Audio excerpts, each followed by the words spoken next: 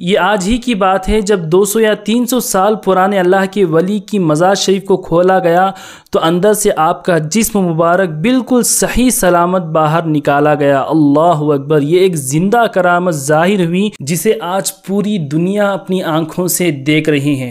Video में and तक बने रहिए और आगे बढ़ने से पहले इस वीडियो को लाइक नहीं किया तो लाइक कर दें। हमारे चैनल वीर इस्लाम को ज़रूर सब्सक्राइब कर दें और फेसबुक पर देख रहे हैं तो हाफिज़ आमिर कादरी के पेज को भी फॉलो कर दें।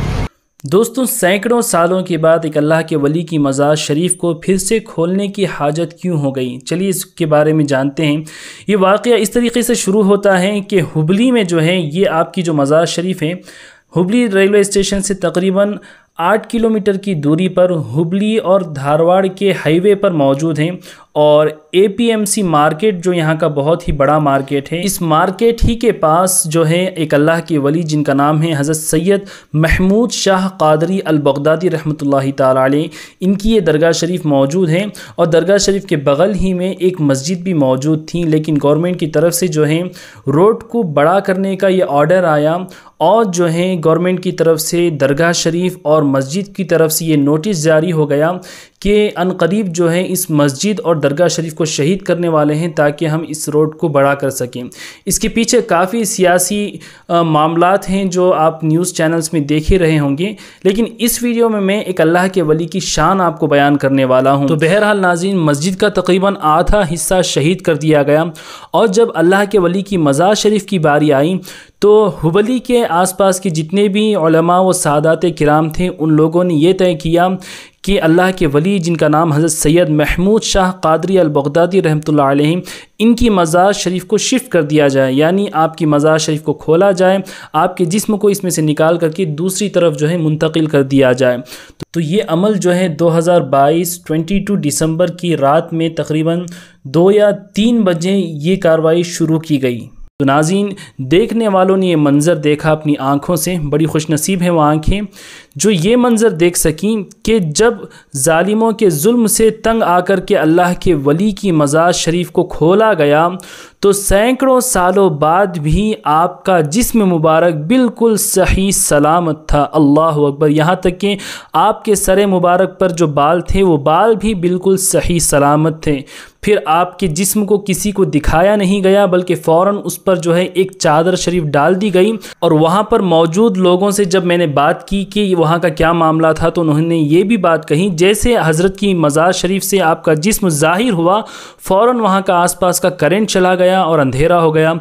फिर रोशनी का थोड़ा इंतज़ाम हुआ तो और सादात ने ये इशारा समझ लिया और कहा कि हो सकता है कि कोई जिस्म शरीफ को ना देखें, इसलिए अल्लाह की तरफ़ से ये रोशनी भी यहाँ पर चली गई थी। तो किसी को जो है आपका जिस्म मुबारक और आपका चेहरा मुबारक नहीं दिखाया गया, बल्कि ऊपर से जो आप देख रहे हैं इस वीडियो में, एक सब्ज़ रंग की, एक हरे रंग की चादर शरीफ आप पर डाल दी गई।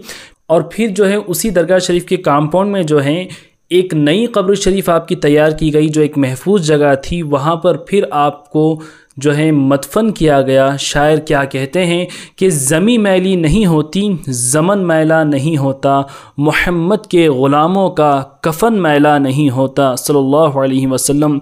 बेशक ये शायर ने ऐसे ही जुमलेबाजी नहीं कह दी, बल्कि ये दर हकीकत है, आज भी ये अल्लाह ताला अपने करिश में दिखाता ही रहता है, किसी ना किसी हीले और बहाने से, और अल्लाह वालों की शान बुलंद करता ही रहता है।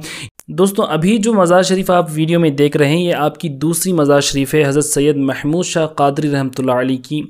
इन अनकरीब इस मज़ार शरीफ को भी आली शान पैमाने पर जो है तामीर किया जाएगा, और यहाँ पर एक आली शान दरगाह शरीफ तामीर होगी। और मैं उन लोगों को भी समझाना चाहता हूँ जो बदअकीदा लोगों के बयान सुन करके अपने ईमान को ख़राब कर चुके हैं और अल्लाह की शान में गुस्ताखियाँ कर बैठे हैं। वो लोग देखें इस मंज़र को कि अल्लाह के वली जो हैं, हम ऐसे ही उनको नहीं मानते, ऐसे ही उनका अदब नहीं करते, बल्कि अल्लाह के नज़दीक उनकी ऐसी शान होती है कि उनके जिस्म तक सैकड़ों सालों से, हज़ारों सालों से उनकी मज़ारात में बिल्कुल सही सलामत हैं। और ये जो है, आप देख सकते हैं, एक ज़िंदा सबूत है। और जो लोग अलिया अल्लाह की शान में गुस्ताखियाँ करते हैं, वो लोग बाज आ जाएँ क्योंकि अल्लाह ताली फरमाता है यह हदीस कुदसी है कि अल्लाह तबारक व ताली का इशाद है कि जो लोग अलिया अल्लाह से दुश्मनी रखते हैं, बुग्ज़ रखते हैं, मैं उनके साथ ऐलान जंग करता हूँ। तो समझ लीजिए कि जो अलिया अल्लाह की शान में गुस्ताखियाँ करते हैं, वह अल्लाह के नज़दीक किस कदर गिरा हुआ है। अल्लाह ख़ुद फरमाता है कि मैं उसके साथ ऐलान जंग करता हूँ। तो दोस्तों, इस वीडियो को अपने दोस्तों रिश्तेदारों में ज़्यादा से ज़्यादा शेयर कर दें, ताकि तमाम लोग अल्लाह के वली की ये शान देखें। अल्लाह ताला हम सबको अलिया अल्लाह की सच्ची आशिकी और सच्ची ग़ुलामी नसीब करें, और हम सब की नेक और जायज़ मुरादें पूरी करे। असलकुम